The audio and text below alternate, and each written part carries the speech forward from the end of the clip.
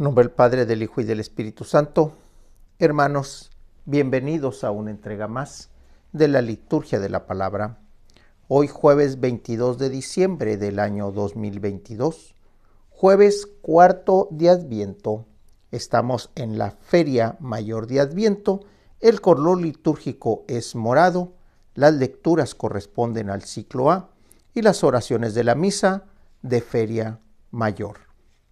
La antífona de entrada nos dice, puertas, ábranse de par en par, agrándense, portones eternos, porque va a entrar el Rey de la Gloria.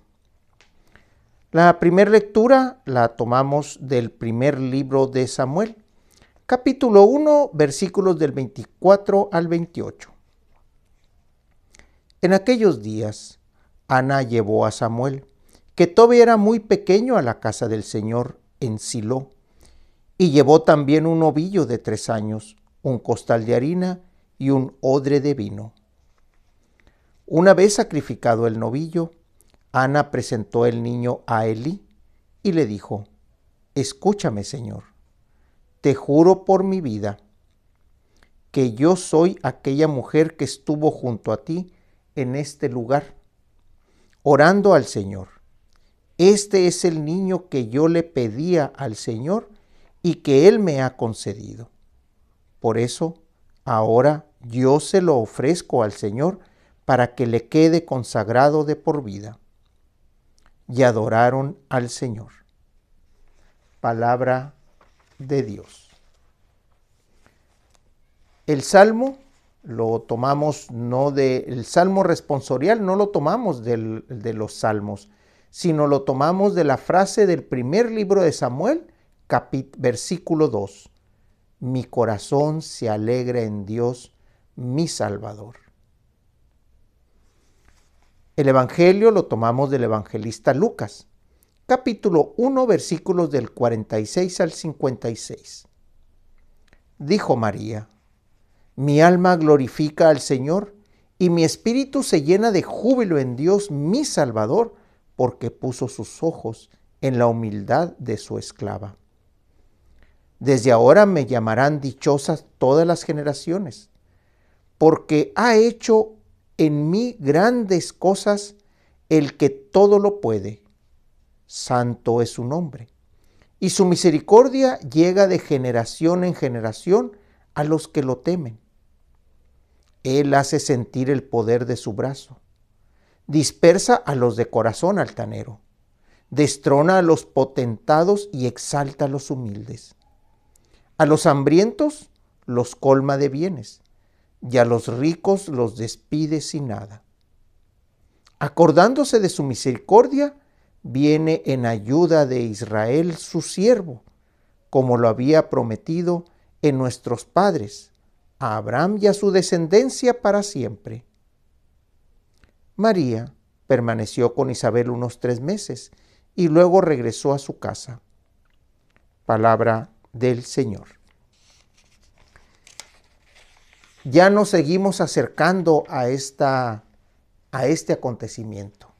Ya estamos en jueves, unos cuantos días o unas cuantas horas y el acontecimiento es realidad. En esta, en esta liturgia de este día jueves, vemos cómo el corazón se alegra en Dios. En la primera lectura vemos a Ana, madre de Samuel. Sabemos que Samuel fue un profeta fuerte, pero vemos el origen de Samuel aquí.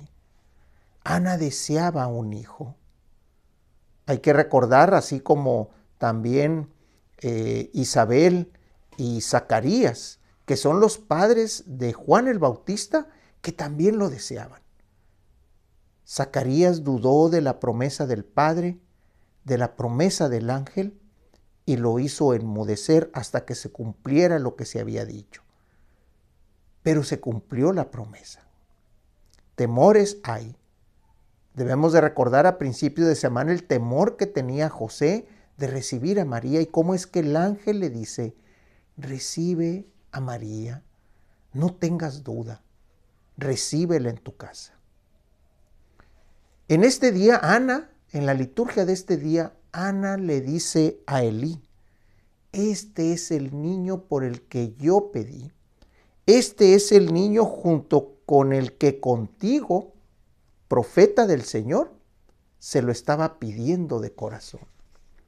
Hoy aquí está. Hoy es una realidad. Y vengo a ofrecérselo al Padre. Ayer platicábamos de las gestaciones que podemos tener dentro de nuestro corazón, de las cosas que se van dando en nuestro ser. Y cómo es que aquí, una vez que lo aceptamos, una vez que dejamos que el Señor entre en nosotros, se gesta algo grande. Ana gestó un hijo, se lo entregó al Señor y sabemos que Samuel hizo grandes cosas por su pueblo, en nombre de Dios. Lucas, ¿qué es lo que nos presenta? Nos presenta la continuación del diálogo que tenían el día de ayer Ana y María, perdón, Isabel y María. Isabel al escuchar el saludo de María, recibe la presencia del Espíritu, recibe el Espíritu de Dios dentro de ella y le hace exclamar grandes cosas.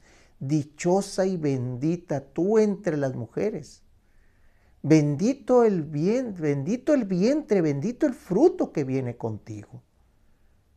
Vemos que eso es eso es algo que el Espíritu le hizo dar. ¿Y qué es lo que dice aquí María? María contesta al saludo de Isabel. Mi alma glorifica al Señor y mi espíritu se llena de júbilo en Dios. El espíritu de María se llena de júbilo porque está acompañado del espíritu de Dios. Dentro del espíritu de María está también el Espíritu Santo, el espíritu que todo lo puede, el consolador. El que da fuerzas, el paráclito que viene a defendernos, el que viene a dar sentido a todo. Y eso lo habíamos comentado en la semana. Por eso, en las lecturas del día de hoy nos dice, mi corazón se alegra en Dios. Y así es como debemos verlo. Así es como debemos de estar preparados. Así es como debemos de estar preparando nuestro rinconcito para recibir al Mesías, para recibir aquel que viene, aquel que le pide a María si desea aceptarlo.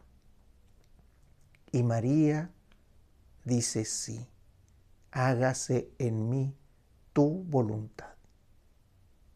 Ana en la primera lectura pide un hijo y se le entrega.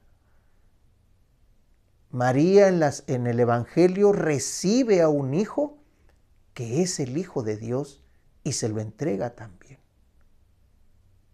Sabemos que la historia de la pasión, la historia de María, fue siempre guardando las cosas en su corazón. Reclamos pocos hacia Jesús. Bendiciones muchas. Sabía María por la plática y la experiencia que estaba teniendo en los primeros días, que no iba a ser una labor sencilla. Sin embargo, llena de júbilo, llena del Espíritu de Dios, dice, mi alma glorifica al Señor y mi espíritu se llena de júbilo en Dios. Preparemos, hermanos, ese corazón para recibir al que viene con un corazón alegre. La oración colecta hoy jueves 22 de diciembre del año 2022, jueves cuarto de Adviento. Estamos en la Feria Mayor de Adviento, el color litúrgico es morado, las lecturas corresponden al ciclo A y las oraciones de la misa de Feria Mayor. Señor Dios, que mirando al hombre caído en la muerte del pecado, quisiste rescatarlo con la llegada de tu unigénito. Concede a quienes confesamos con humilde fervor su encarnación, que merezcamos también gozar de la compañía de nuestro Redentor, el que vive y reina en la unidad con el Espíritu Santo por los siglos de los siglos. nombre del Padre, del Hijo y del Espíritu Santo. Hermanos, Dios los bendiga.